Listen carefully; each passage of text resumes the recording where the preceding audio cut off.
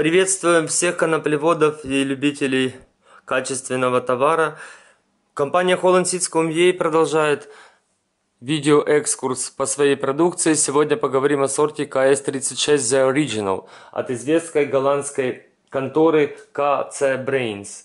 Генетика у сорта Таиланд, Бразилия, тип преобладающая сатива. Перед вами фирменная упаковка, э, беленькая упаковка, довольно-таки простенькая, запечатанная конвертом.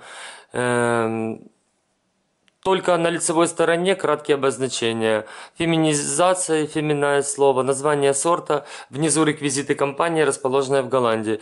Надо сказать, что компания KS Brands не сильно хорошо и добротно отнеслась к упаковке. У нас есть свои нарекания.